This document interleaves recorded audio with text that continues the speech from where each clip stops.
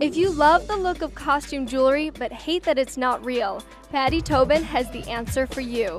Blending statement jewelry with real gemstones, quartz to pearl, Patty Tobin makes fine fashion jewelry.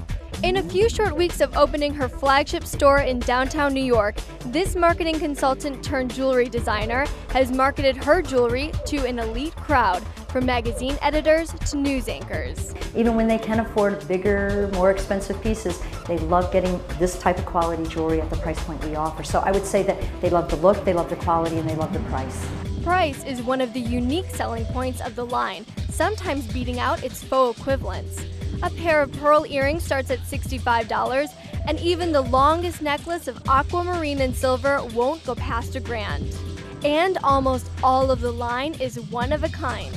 The unique designs and fine materials means everybody can wear it.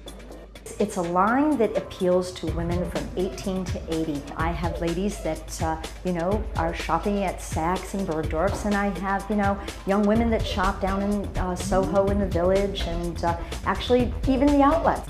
One piece that appeals to everyone is the mother of pearl beaded necklace with ombre clasp. Patty calls it the little black dress.